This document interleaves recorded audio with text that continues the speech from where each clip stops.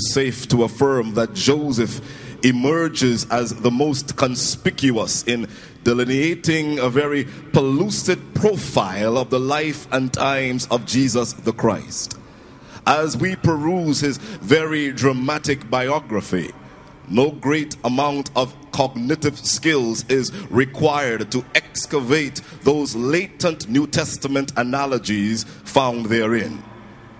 For indelibly etched on every page, sketched on every chapter of Joseph's life, are imprints of salvation's story which dare not go unnoticed. From the timing of his birth in Canaan to his coffin in Egypt, the testimony of the Lord is sure. From being hated by his own without cause, only to be ostracized by wanton envy evidenced in his being the father's favored son, wearing the variegated coat of honor. From being plunged into a pit of rejection to one day be enticed by the spice of Mrs. Potiphar. And from this heat of temptation would come the seat of castigation within the prison house of affliction, and then to be raised up in the palace of exaltation. Jesus is seen everywhere Almost every event of the life of this Old Testament character can be viewed as a prevision of the life of Jesus, his New Testament prototype. In fact, it might be safe to say that Joseph was led the way he was led in order that he might reveal the life of the one who made his living possible. I think I need to say that again. Joseph was led the way he was led in order that he might reveal the life of the one who made his living possible. If this is so, brothers and sisters, then the real dreamer in the story of Joseph is not really Joseph, but Jesus. It was Jesus who chose Joseph as a depository for his dreams. Way back then, I, I do believe Jesus reserved exclusive rights to broadcast his earthly mission in the form of dreams. And the chosen network was not 3ABN, but Joseph. Was not the Hope Channel, but Joseph. Joseph was the chosen network. Had it not been for Jesus, Joseph the dreamer would have been hallucinating. Therefore, I wish to see the dreams not merely as a preview of Christ's future mission, but if you like, these dreams, in my opinion, were but a review of a mission already accomplished in Christ. You see, you've you got to understand that the lamb was slain before Joseph was born. So the mission was completed long before Joseph had a dream. So when Joseph dreamed, it was confirmation that the mission of Christ was accomplished. As such, the sequel of events surrounding the life of this Old Testament character cannot be viewed or described as fortuitous. For every conflict, every trial, every vicissitude constituted part of a providential plot a plot, in my opinion, that would be actuated by a coat of many colors. That's why I do believe that this checkered coat worn by Joseph and woven into one was actually designed by Jesus. For in Christ, different colors can come together. In Christ, different nations can come together. Help me, somebody. In Christ, different races can come together. Even in Atlanta, Georgia, we are the coat of many colors. Help me, somebody. For with Christ, discrimination is not an option, and envy has no place. For the prodigious grace of Christ incorporates everyone and eliminates no one. Yet, this coat, while representing a coalescing of diversities, would soon become a source of animosity within this ancient home. For Joseph, wearing such a coat came not without expensive consequences. For the unbridled devotion shown to him by his father was not always shared by his siblings. He who would become the main beneficiary of his father's favor would soon become the main recipient of his brother's displeasure. He who was blessed by his father was detested by his brothers. And he was detested by his brothers because he was blessed by his father. He who became the object of goodwill became the subject of ill will. The lesson is obvious, brothers and sisters. Be careful when God is good to you because not everybody would be excited. Be careful when God blesses you. Not everybody would be excited. Should you look closely enough, Joseph challenges. Joseph challenges always seem to center around his dress code. Whatever he wore always seemed to get him into trouble. The same coat given to him by his father when he was alive, when he was alive, was the same coat given to the father as proof that Joseph was dead. The same garment that worked for him in Mr. Potiphar's house was used against him in Mrs. Potiphar's hand. All because of his dress code. First, he would be stripped of his coat and then put into a pit. Then he would be stripped of his garment and put into prison. All because of his dress code. You know, I have discovered that folk who are gifted or entrusted with positions of prominence usually become the target of two groups of people the envious and the sensuous. And both groups will try to strip you. You are mighty quiet out there. Many a prominent minister can testify to this. For many who have been gifted and renowned have either been a threat to the envious or have been stripped by the sensuous.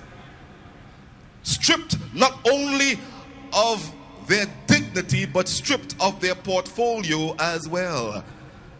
But I thank God Joseph remained focused. Joseph never lost sight of the purpose for which he existed. Though he was stripped, in my opinion, he was never naked. For, for underneath underneath the many colored coat that he wore, underneath exhibit A in Mrs. Potts' hot little hand, Joseph wore another garment. It was a covering of integrity, stitched together with dignity and woven together with his fidelity to God. Joseph wore another garment, stripped but not naked ultimately, God was intimately intertwined into his very being, guiding his steps every step of the way. And so Joseph remained resolute with iron in his soul and a tenacious faith in his God. The Bible describes, describes him as a goodly person. His reputation was that of a goodly person. He wore the pristine appearance of a goodly person, but I should warn you that the exquisite attire of an immaculate reputation is no guarantee of stability in the day of temptation. We need more than the outward appearance to guard our souls. Fellow ministers, our shirt and tie may be our uniform, but not our armor.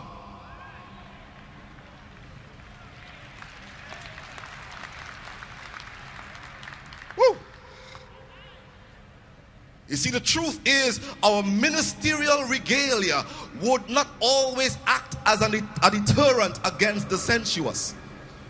We can be held in high regard and still become a fallen prey, or worse yet, become a predator of the fallen.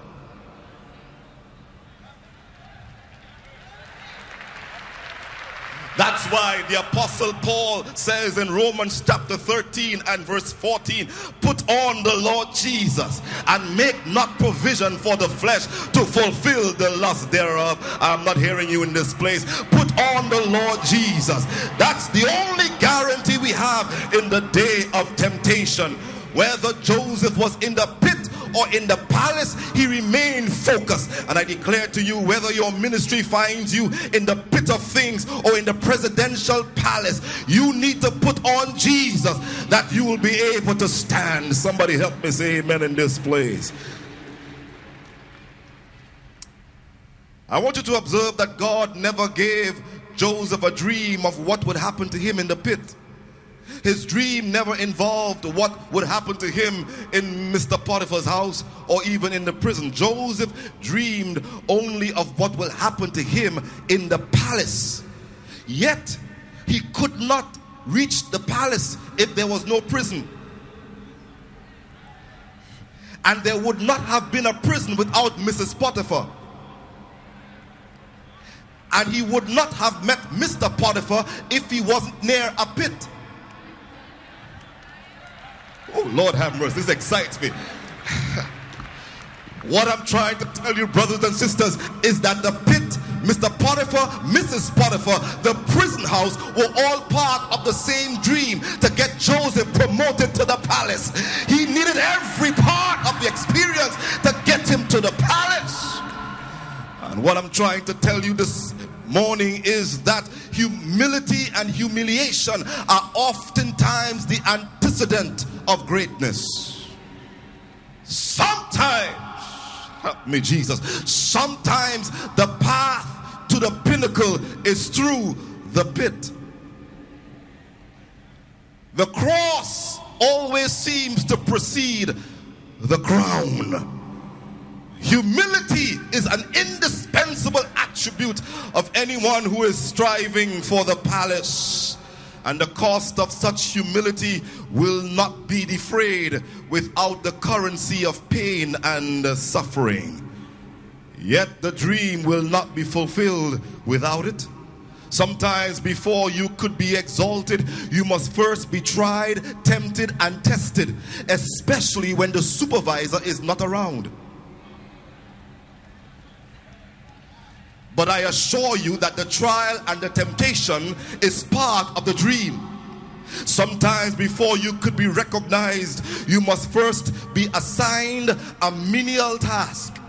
Sometimes you have to be denied that coveted position that you think you deserve. Sometimes, Pastor, in order to be recognized, you must first be confined to that intractable, stiff necked district but I assure you that the incarceration is part of the dream. Sometimes, before your integrity can be authenticated, you need to be maligned and denigrated. But the impeachment is part of the dream. They're all part of the same script written and directed by a divine mind whose ways are past finding out. Therefore, I do believe that the whole account of the vagaries of Joseph's life is about God secretly working behind the scenes through Joseph and in spite of Joseph, but on behalf of all men. Like a secret service agent, God was carefully orchestrating the counsels of his own will. No wonder wherever Joseph could be found, he was blessing those around him because God was his secret service agent. Hmm. because of Joseph, his father's favor was disclosed, while his brother's envy was exposed. Because of Joseph, Mr. Potiphar's trust was ignited while Mrs. Potiphar's lust was excited. Because of Joseph, a butler saw himself elevated while a baker saw himself eliminated. Because of Joseph, Egypt became a land of plenty while Canaan became a land of empty. Wherever Joseph went, he was blessed, and wherever he could be found, he was blessing others. You see, it's not where you are or what you have, but who you have that determines how blessed you are. Help me, somebody. It's who you have that determines how blessed you are. Huh? Potiphar's house was blessed because Joseph was there. The prison cell was blessed because Joseph was there. Pharaoh's palace was blessed because Joseph was there. You may not have everything that you need, but if you got Jesus, you're blessed. You may not be where you should be, but if you got Jesus, help me somebody, you are blessed. And hear this one you may not get elected You may not get that promotion, but if you got Jesus, He will lift you up. Help me, somebody. You are blessed. It's not where you are or what you have, but who you have that determines how blessed you are. Now, now see him here, second in command. That day, the Bible says, when Joseph saw his brethren, he knew them. Is that Zebulun? Oh no. Look how big Issachar got. Oh no, that can't be Dan. Dan never wore beard. Oh, look, look, look, look. Naphtali. Oh my goodness. The Bible says he knew them, but they didn't recognize him. I guess by now, because he was living in a strange land, in a foreign place, in an unexpected environment, looking unfamiliar and speaking with an accent that was alien to them, resonating with a repugnant tone, they couldn't recognize him. He was their brother in the flesh, but a stranger, a son of the soil, yet a foreigner. I suppose his entire persona was more odious than inviting. His demeanor denounced his pedigree, but he was their brother. But he was their brother in an unexpected place. oh, this excites me. I'm going to get excited whether you get excited or not.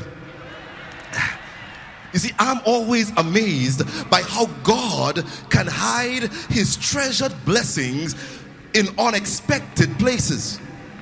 Mm-hmm, mm-hmm. God can hide a reservoir in a dry rock to let you know that even if you are in a dry place, God can still bless you. oh, Lord, have mercy. God can get sweet water out of bitter waters to remind you that if you are going through a bitter experience, God can still refresh you.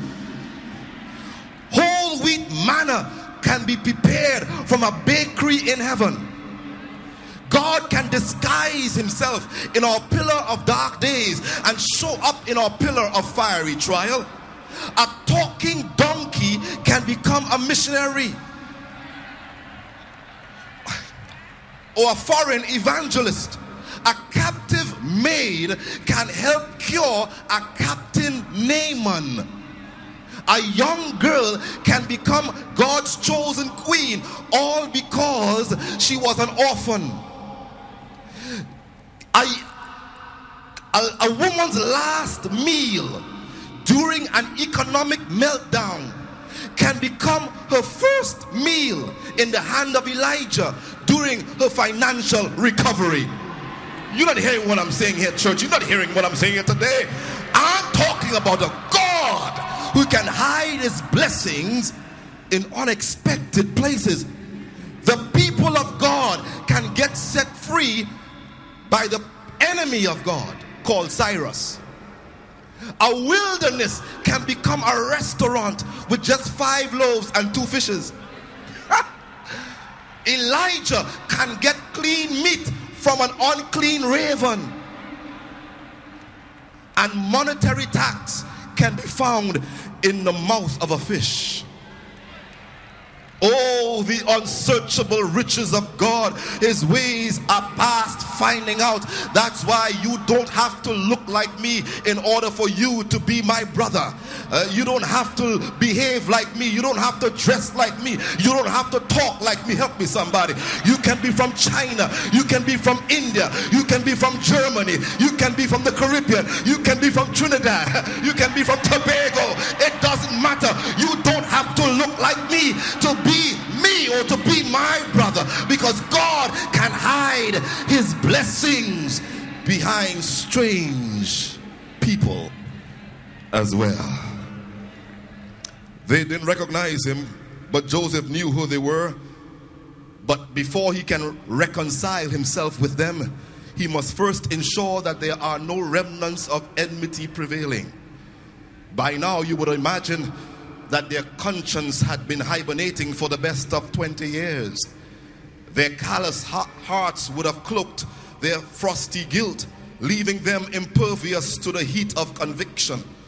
One of the dangers of unconfessed sin is that it can indurate us into a false sense of security. They had committed an evil to Joseph 20 years before, but their conscience had now been hibernating for 20 years. So, wearing the disguise, in my opinion, is Joseph's way of getting an opportunity to cause them to examine their own hearts so that they will palliate their faults no longer. You see, brothers and sisters, sin doesn't only sever and separate, sin also settles us into a spirit of apathy. I heard Jeremiah, I heard God saying to Isaiah in Isaiah 59 and verse 1 It's not that I don't want to embrace you because my hands are not too short that they cannot save. It's not that I don't want to hear you because my ears are not too dull that they can't hear, but your sin settles you. And there is a third party between us. And you prefer the third party to me. So I can't embrace you if there is a third party between. Are you hearing what I'm saying? It's not that Joseph did not want to embrace his own, but you must understand that reconciliation without repentance is meaningless. Sometimes, therefore, God must deal with us harshly. So the Bible says that Joseph spoke roughly unto them. Sometimes, in order to provoke our gagged conscience, God must deal harshly with them. Turn with me to the same chapter, and I want to illustrate this point here. In verse 24, the Bible says, And he turned himself about. That's Joseph. Genesis 42 and verse 24. And wept and returned to them again and communed with them and took them from Simeon and bound and took from them Simeon and bound them and bound him before their eyes. I want you to imagine the scene. Joseph is now behind closed doors and he is weeping profusely because he's recognized that these are his brothers and he's overcome with emotion and he's weeping.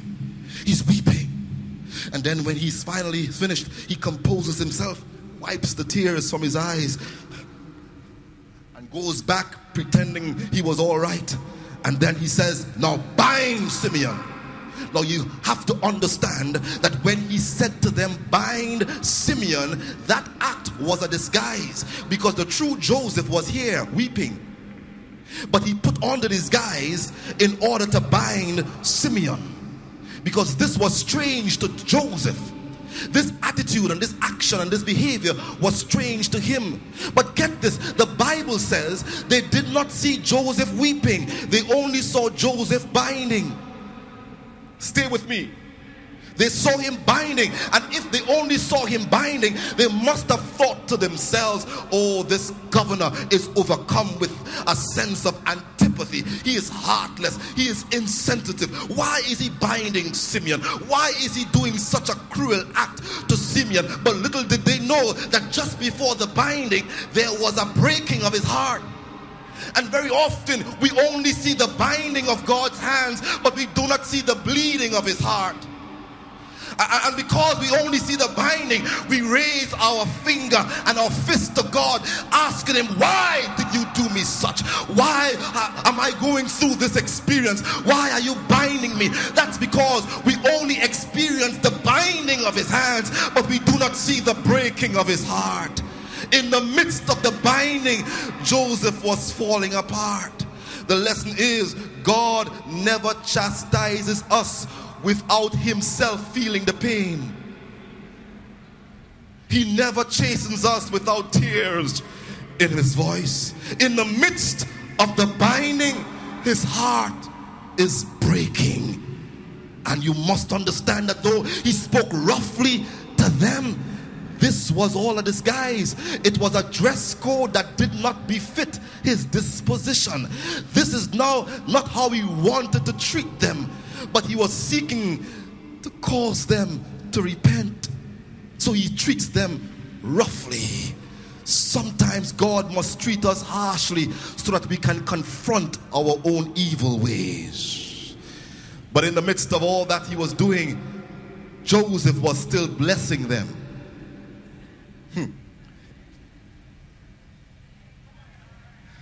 In spite of what they did to him 20 years before, he was still giving them corn. He even replenished their sacks. He even gave them per diem for their journey back home to Canaan. He was still blessing them. He had every right as governor to execute them forthwith. Yet, in spite of it all, Joseph invites them to sit with him in high places. Oh, Lord, have mercy. They treated him as an outcast. But Joseph was not ashamed to call them brethren. They threw him, they threw him into a pit, yet Joseph invited them into his palace. They conspired to get rid of him, but Joseph was conspiring to reclaim them. They hated him without cause, yet Joseph showed them favor without measure. I don't know about you, but this sure reminds me of Jesus. He came down here seeking his own when his own received him not. We gave him a manger for his delivery room and despicable Nazareth for his hometown. We discredited his claims as the Son of God and accredited his works to that of Beelzebub. He gave rest to many, and the only rest we gave him was a resting place on a rugged cross. Yes, an outcast he was amongst those who received him not. Yet, in spite of how we treated him, Jesus never left us without a promise. He said, I go to prepare a place for you. I don't know if you're hearing what I'm saying here today.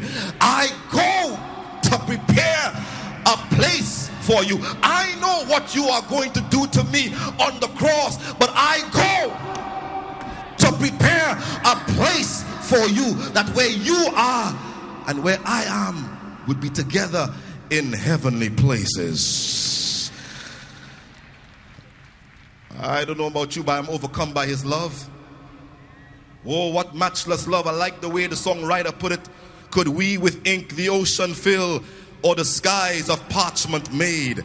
Were every stalk on earth a quill, or every man a scribe by trade? To paint the love of God to man would drain the ocean dry, nor could the scroll contain the whole, though stretched from sky to sky. Oh, what matchless love the Father has bestowed upon us that we should be called the sons of God. He wants to ravish us with His love and with His favor. He wants to bless us with material things, but far greater than material gifts, Jesus wants to bless us with the gift of Himself. He said, If you, being evil, know how to give good gifts to your own children, how much more will your heavenly Father give you the Holy Spirit, which is Himself? Which means that the greatest gift God wants to give to us is Himself. That's why I believe, and I'm coming to a close now. When Joseph first saw his brothers, he never wanted them out of his sight in the first place. That's why he bound Simeon. He wanted to make sure they had insurance to return.